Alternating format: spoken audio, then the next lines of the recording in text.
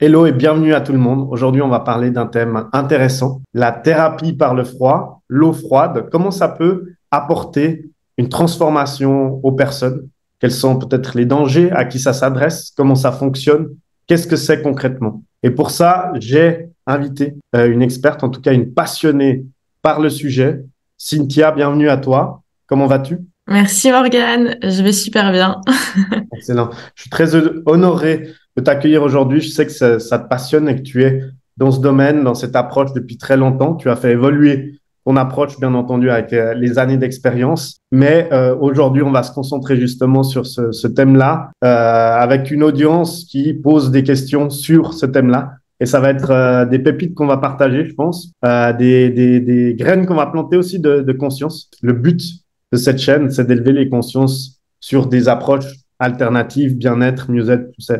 Et donc, merci d'être mon invité aujourd'hui. Merci de contribuer à ça. Ce que je te propose, c'est de, te présenter à l'audience.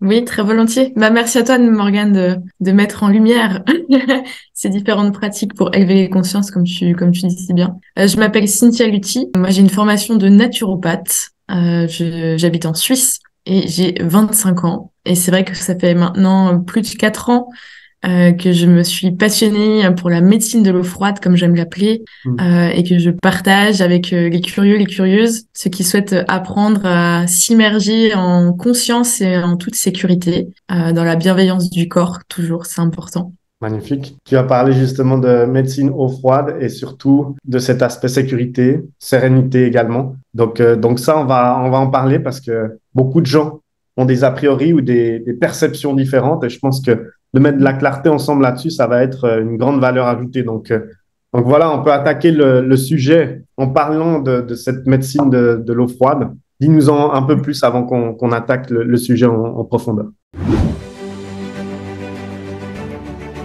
Pour moi, c'est vraiment une thérapie, euh, c'est ce qu'on appelle l'hydrothérapie froide dans le jargon. C'est voilà la thérapie par le froid, par l'eau froide. Maintenant, le monde de la science s'est beaucoup intéressé hein, à ces thérapies par le froid.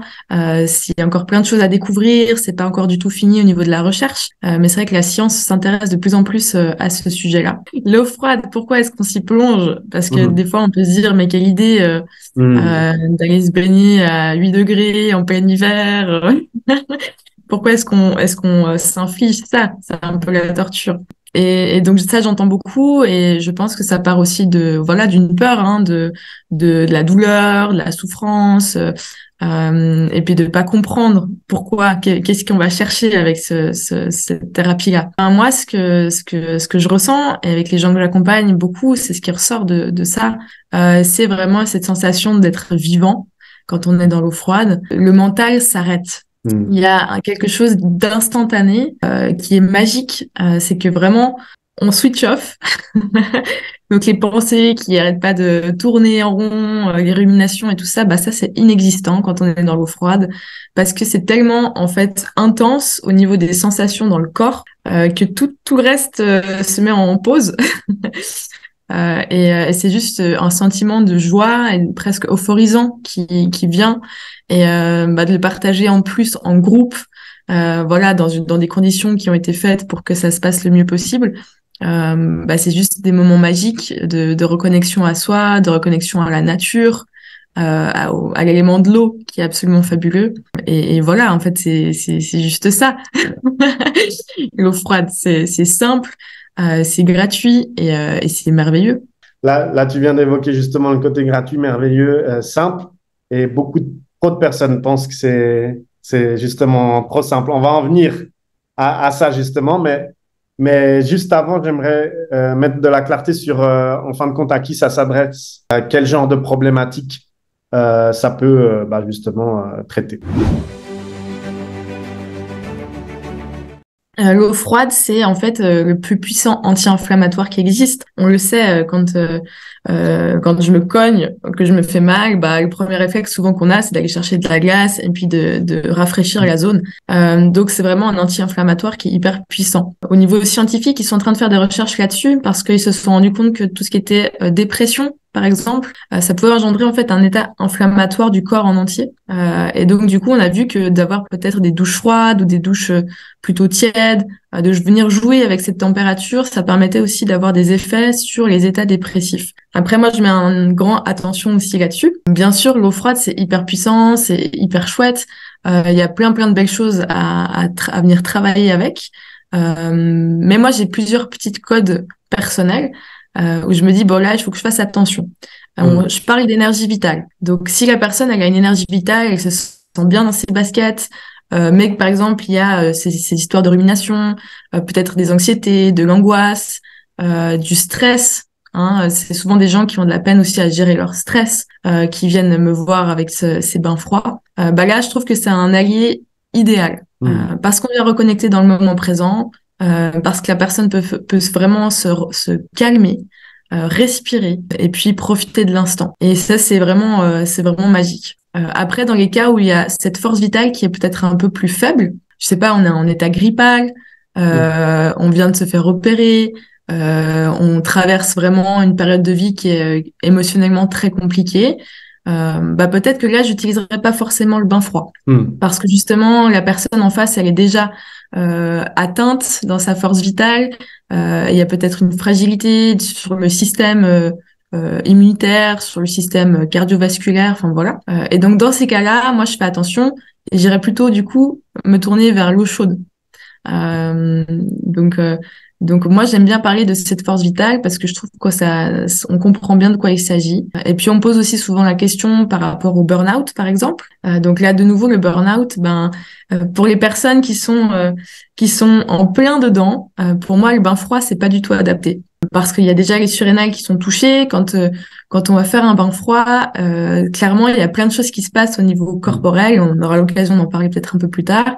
Mais c'est quand même un stress intense pour l'organisme. C'est vraiment pas quelque chose qui est anodin. Euh, hmm. Et ça, je souhaite aussi le, souligner. Euh, c'est quelque chose qui est quand même, ça demande beaucoup d'énergie au corps. Et euh, quand on est en burn-out, ben l'énergie, on en a vraiment plus beaucoup.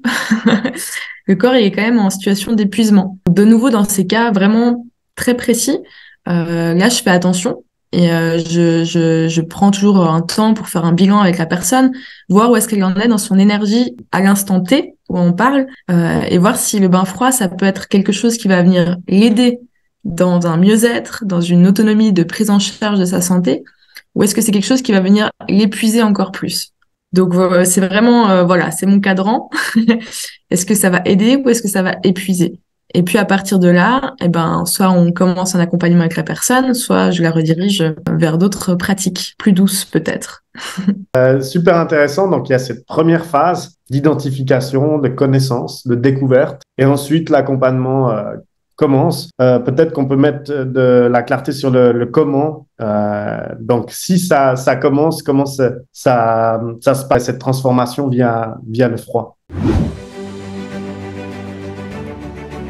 Alors, avec l'expérience, avec les années, euh, je me suis bien rendu compte qu'une immersion dans l'eau froide, bon, c'est vraiment super parce que ça permet de confronter la personne à, ses peurs, à ses craintes, euh, et puis d'aller au-delà, de traverser. Hein. C'est vraiment une sortie de zone de, de, confort qui est intéressante. Mais pour moi, il faut que ce soit vraiment sur la durée. Hmm. Si on va avoir des, des, des, résultats entre guillemets, si on va avoir des, une fonction euh, différente du corps, si on va avoir une, une, énergie vitale qui va se voir améliorer avec le temps, avec la pratique. Et ça demande vraiment comme un muscle hein, qu'on travaille quand on va au fitness ou euh, euh bah ça demande de l'entraînement, de la pratique euh, et c'est quelque chose qui se travaille vraiment sur le long terme. C'est beaucoup plus intéressant de faire des immersions, des bains qui sont plus courts, mais par contre de les faire régulièrement plutôt que de faire euh, une fois euh, tous les deux mois quelque chose. Euh, donc dans cette idée-là, voilà, avec les années et l'expérience, j'ai eu très envie de créer un programme, un accompagnement sur plusieurs mois pour vraiment avoir le temps de guider les gens qui sont curieux de ces bains froids, de ces, de ces thérapies par le froid, pour leur donner toutes les clés en fait qu'il faut pour qu'ils soient autonomes dans leur pratique personnelle et qu'ils se sentent en sécurité et en confiance en le faisant. Mmh. Euh, donc ça, c'était pour moi vraiment des, des, des clés hyper importantes euh, à transmettre et j'ai à cœur de, de, le faire encore aujourd'hui, bien sûr. et c'est pour ça que du coup, je me suis rendu compte que c'était important de le faire sur plusieurs semaines. intéressant. Ici, je connais ton approche hein, qui, est, qui se démarque d'autres par sa douceur. Parce qu'il y a beaucoup de gens qui, qui font ça au niveau de, en plus, l'énergie yang et, et, du coup la performance. Quel est en fin de compte on pourrait venir sur les, dangers et aussi les limites de tout ça, parce que la performance, c'est se pousser, etc. Et puis peut-être euh, plus sur du court terme, etc.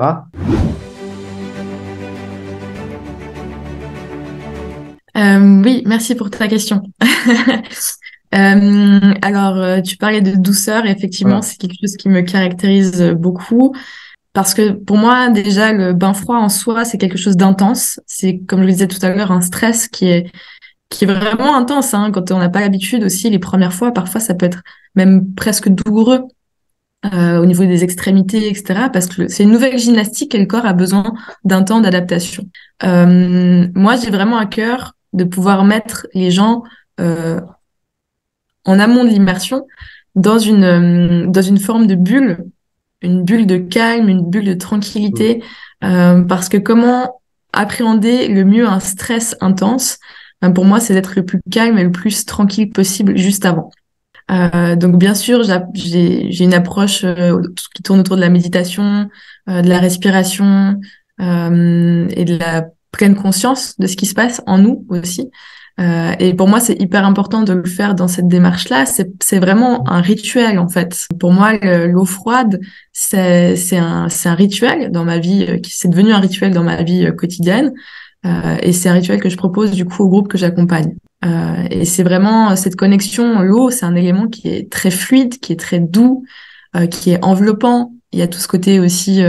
Bah, c'est vraiment une énergie qui est très féminine. Et puis, et puis c'est d'aller se connecter à ça. Au-delà de c'est froid, c'est dur, euh, ça peut voilà c'est en fait de dépasser ce truc de performance et de de m'as-tu vu un petit peu euh, peut-être, euh, parce que c'est pas ça qui m'intéresse. Ce qui m'intéresse, c'est d'aller voir, ok, mais comment est-ce que je peux me soigner? Qu'est-ce que cette eau froide peut venir m'enseigner? Quand je vais dans l'eau, c'est jamais les immersions, elles sont jamais la même chose. J'ai pas de montre sur moi. Euh, c'est tout au ressenti du corps. C'est mon corps qui me dit, bah maintenant ça suffit, il faut sortir. Euh, donc c'est vraiment d'être très très attentif et être très à l'écoute de ce qui se passe à l'intérieur à chaque instant. Quand on quand on a ça en vue, la performance et les mmh. chiffres, euh, tout ça n'a vraiment plus plus d'intérêt quoi. C'est c'est pas ça l'important. Intéressant et vraiment, je pense une une approche bien différente de ce qui se fait. Euh, là-dessus, du coup, euh, quels sont les, les dangers, les risques euh, quand on va dans, dans plus ce mental, ce rationnel de performance lorsqu'on va dans l'eau froide, le dépassement de soi, etc. Ce que je souhaite peut-être rajouter, c'est que je pense vraiment qu'il n'y a pas une seule bonne manière de s'exposer au froid et de se baigner. Bien sûr, ma manière n'est pas la seule et l'unique qui existe. c'est celle qui me parle le plus et c'est celle que j'ai à cœur de transmettre. Et puis c'est tout. après, euh, c'est euh, aussi très bien de se chronométrer et, voilà, c'est juste des autres façons de faire. Mm. Pour les dangers, ben, euh, bien sûr, il y a tout ce qui est en lien avec la durée du, de l'immersion. donc, combien de temps est-ce que je reste dans l'eau? J'ai eu pas mal de personnes qui sont venues me voir en me disant ah mais j'ai essayé ton truc, c'était l'angoisse, je suis restée dix minutes dans l'eau, j'ai mis deux jours à me réchauffer. Donc, euh, donc voilà, euh, pour dire, moi, les premières immersions que je propose, les gens restent entre 2 minutes et 2 minutes 30 maximum. Euh, donc, il y a bien sûr cette idée de durée dans l'eau froide. Plus on reste longtemps dans l'eau froide, plus le corps va se refroidir. le truc, c'est que quand on est dans l'eau, il y a vraiment cette sensation qu'on est tellement bien qu'on n'a pas envie de sortir. Et c'est là un peu le danger. je dis souvent qu'il faut tomber de la falaise pour trouver le bord avec l'eau froide, c'est vraiment ça, c'est que souvent on se rend compte un peu trop tard qu'on est resté trop longtemps dans l'eau et du coup on le paye ensuite euh, parce que du coup on met beaucoup beaucoup de temps à se réchauffer. Donc moi une règle que je donne qui est assez simple, c'est que si on met plus que 3 ou 4 heures pour vraiment se réchauffer, euh, on peut partir du principe qu'on est resté trop longtemps dans l'eau. Si j'ai encore froid le soir alors que j'ai fait mon immersion le matin, c'est que je suis restée trop longtemps dans l'eau. Euh, dans les autres dangers entre guillemets, euh, bah, y a justement ce, cet épuisement du corps. on est dans une société, on est déjà beaucoup dans la performance, euh, dans le faire toujours plus. Euh, et puis le repos, le retour au calme, bah, il passe un peu à la trappe. Et ça, c'est aussi l'autre danger qu'il y a avec ces immersions en eau froide, c'est que euh, ça demande beaucoup d'énergie parce que toutes les cellules, en fait, vont fonctionner à leur maximum ensuite pour produire de l'énergie, pour se réchauffer.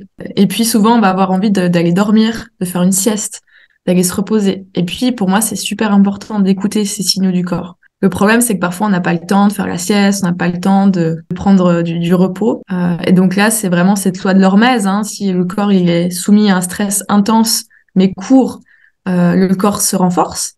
Par contre, s'il est soumis à un stress qui est trop important euh, ou qu'il n'y a pas de récupération, de temps de repos derrière, le corps s'épuise. Donc moi, je travaille beaucoup avec cette loi qui est très simple. Euh, stress intense mais court, suivi de récupération, on renforce le corps. Et puis ça, c'est la voie que je choisis avec euh, les bains froids. Peut-être pour résumer, les dangers, bien sûr, c'est aussi euh, tout ce qui est en lien avec le système cardiaque, le cœur. S'il y a déjà des fragilités, des faiblesses au niveau du cœur, on va faire très très attention. Moi, je conseille pas euh, les bains froids dans ces cas-là. Il y a d'autres thérapies qui sont beaucoup plus adaptées. Euh, donc, s'il y a déjà une fragilité à ce niveau-là, attention. Attention aussi euh, personnes asthmatiques, donc tout ce qui est aussi système euh, pulmonaire, respiratoire, euh, parce que quand on est dans l'eau, ça crée quand même une espèce de tension et il faut pouvoir avoir le, le système assez solide pour pour répondre en fait au stress induit. Donc attention, fragilité système cardiaque, système respiratoire, euh, tout ce qui est grossesse en cours, c'est non. On fait pas de bain froid avec des personnes euh, enceintes. Euh, attention aussi aux personnes qui sont sujettes à l'ostéoporose, parce que le, le froid, le bain froid, ça vient aussi euh, tirer pas mal de nutriments, de minéraux pour se réchauffer. Et du coup, les gens qui en ont déjà peu à la base, bah, ça peut être aussi une contre-indication. Et après, moi, je fais attention vraiment, voilà, tout ce qui est euh, dépression, quand on est en, en, vraiment une dépression diagnostiquée par un médecin, hein, c'est vraiment sérieux. On fait très attention. Tout ce qui est burn-out, on fait très attention. Voilà. Mais pour le reste, si ça, ça a été écarté, euh, finalement, il y a beaucoup, beaucoup de monde qui peuvent qui peuvent aller se baigner euh, sans aucun problème. Hmm. Et puis les enfants aussi, je fais attention. Euh, moi, je, je pratique pas. L'enfant, il sait mieux que tout le monde ce qui est bon pour lui. Euh, en général, moi, je fais pas avant 16 ans. Magnifique. Je pense qu'on a déjà euh, pu parler de différents aspects justement de cette médecine de l'eau froide, euh, sur ce que c'était, comment ça fonctionne, euh, même les dangers, les, contre-indications c'est déjà top pour quelqu'un qui, cherche de la valeur et du, contenu sur ce sujet. Est-ce que tu aurais quelque chose à, rajouter sur un aspect peut-être qu'on n'a pas abordé qui serait important concernant cela? Ouais, j'aimerais bien rajouter quelque chose parce que euh, souvent j'ai pas mal de gens qui, qui, viennent me voir au début, ils me disent mais Cynthia c'est pas possible, euh, je suis pas capable de faire ça, c'est trop dur. Et euh, j'ai vu des transformations magnifiques euh, en l'espace de seulement quelques mois. Mmh. Euh, là, dernièrement, bah voilà, une, une, femme au début de l'accompagnement qui arrivait pas à mettre plus que au niveau des genoux dans l'eau. et puis quelques semaines plus tard, on était en, plein en plein hiver euh, dans la neige, en train de se baigner. et puis et puis c'était magnifique. Il y a beaucoup le mental qui qui travaille parce qu'il y a plein de peurs qui surgissent. Et, euh, et moi, je suis pour vous dire que bien sûr que vous êtes capable. Euh, si vous ressentez l'appel de l'eau froide, c'est qu'il y a quelque chose qui est là pour vous. Euh, et c'est pas pour rien. Euh, mais faites-vous guider. Ayez la sagesse de demander de l'aide au début, d'aller euh, avec des gens qui connaissent déjà euh, bien la pratique. allez vous immerger en groupe. N'y allez pas seul pour éviter de vous faire du mal. Et puis voilà, pour apprivoiser ce froid au fur et à mesure. donc c'est ça que peut-être que j'avais encore envie de de partager, c'est que tout le monde est capable. voilà, tout le monde est, capable et il suffit juste de s'autoriser à demander à être euh, accompagné si on le souhaite. Voilà. Je pense que c'est super comme, comme clôture de, cette interview. Euh, si vous avez apprécié ce contenu, n'hésitez pas à cliquer sur s'abonner et la clochette de notification. Ça permettra justement de rendre ce contenu plus visible. Euh, Cynthia, si les personnes ont, ont connecté à ce que tu, as dit, tes propos, etc., elles peuvent te contacter où? Euh, alors moi, je me trouve en Suisse. Euh, je fais les immersions du côté de Morges et euh, aussi en rivière, lac et rivière en Suisse. vous pouvez me contacter via mon Facebook ou mon Instagram. avec plaisir que je vous réponds là sur les réseaux sociaux. C'est toujours un plaisir de, de vous rencontrer et de discuter autour de ce sujet-là. Super. Cynthia, merci énormément pour ton partage. on voit que c'est un sujet passionnant, tu es passionné. Et, et du coup, ben, merci pour cette contribution. Euh, je te souhaite euh, tout le bonheur et je te dis surtout euh, à très vite du coup. Merci Morgane pour ton aide et tout ce que tu mets en place pour, pour ta communauté. C'est magique. Merci à toi. à toi aussi.